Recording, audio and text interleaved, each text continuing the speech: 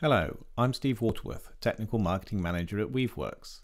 In this presentation, I'll be introducing the Weaveworks Terraform controller. This extends the reach of Weave GitOps beyond Kubernetes. Real applications are more than a collection of microservices running in a Kubernetes cluster. Some workloads are not suitable for running inside Kubernetes. You may wish to utilize other services from your cloud provider, such as big data, machine learning, or messaging services. Real applications require external services such as domain name service entries, content delivery networks, identity and access management. With GitOps, the desired state, stored in Git, is continuously reconciled with the actual state running in Kubernetes. Any changes merged in Git are applied to Kubernetes. Any manual changes applied to Kubernetes are reverted back to the configuration stored in Git configuration drift is eliminated. The Weaveworks Terraform controller uses those same principles to manage resources outside of Kubernetes. The desired state is stored in Git as Terraform files and any dependencies. The reconciliation loop compares the actual state running on the cloud platform and applies the changes. Updating a cloud resource is as simple as a push to your Git repository. Configuration changes directly applied to cloud resources will be reverted back to the configuration stored in Git. The example I'm going to use is a simple Hello World Lambda function. If you've ever built one of these by hand, you'll know that actually they're not that simple. As well as the function, there's an S3 bucket, API gateway, IAM, and CloudWatch logs to configure. The Weaveworks Terraform controller is an add-on to Flux. I've already bootstrapped Flux onto my Kubernetes cluster. There are other resources available to take you through how to do this. The Terraform controller is installed via Helm, with GitOps of course. There's nothing special required for the Terraform configuration, just the regular files. I've put the Lambda function source in a subdirectory. This follows the example from the Terraform documentation. Because this follows the Terraform standard, you can test with the usual Terraform plan and Terraform apply. The magic happens in the Weaveworks Terraform controller manifest. Let's look at that. The Terraform controller creates a custom resource definition for Terraform. This references a Flux Git repository where your Terraform files and resources are stored. For the demo, I'm just using a Kubernetes secret to store the AWS credentials. For production, it would be better to use something more secure like HashiCorp Vault. The secret holding the credential is referenced via name.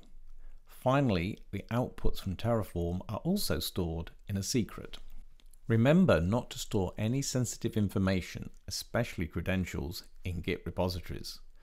The secret to store the AWS credentials is created via the command line. These values are then referenced from the Terraform file the Terraform controller maps them in. That's enough talk. Let's see it in action. I have a GitHub repository with the Terraform files and the JavaScript source for the Hello World Lambda function.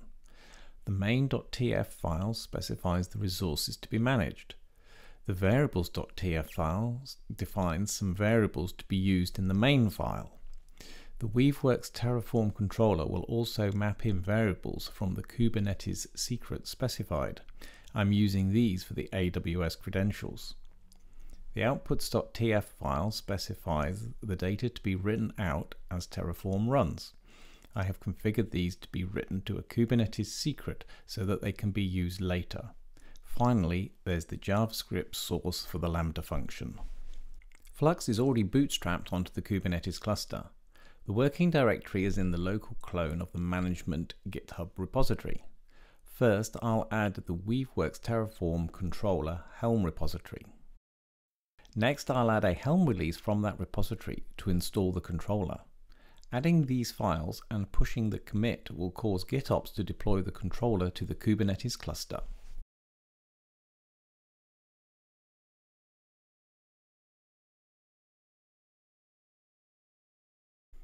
After a short delay, the reconciliation will finish and the Terraform controller pod will be running.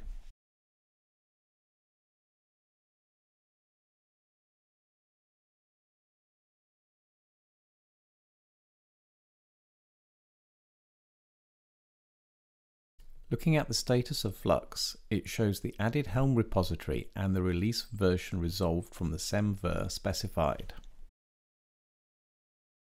Now I'll define the GitHub repository for the source for the Lambda function, consisting of the Terraform files and the body of the function.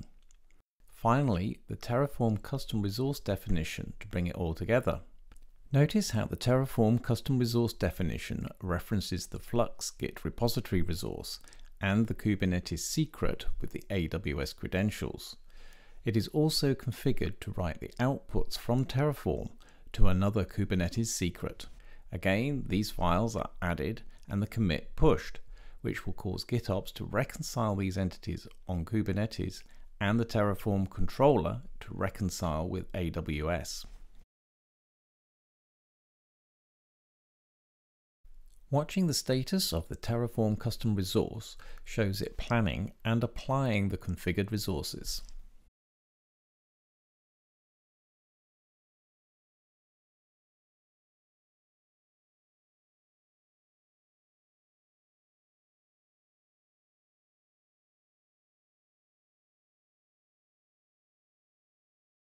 After a short while, the reconciliation is complete. All done. Let's check out what was built via the AWS console. The S3 bucket with the zip file of the Lambda function source, the Lambda function created from the S3 bucket, the API gateway to expose the Lambda function. Finally, the CloudWatch logs for the Lambda function and the API gateway, all created by Weaveworks Terraform controller as part of a GitOps constant deployment workflow. Now that everything has been created on AWS, let's test it. I have a simple script that gets the URL from the Kubernetes secret that was created to hold the Terraform outputs. Remember, this was configured in the Terraform custom resource definition. Then it just uses curl to execute the Lambda function via the API gateway.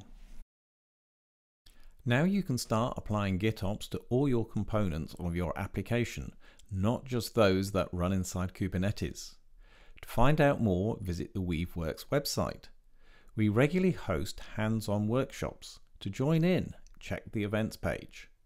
Full documentation for the Weaveworks Terraform controller is available on GitHub.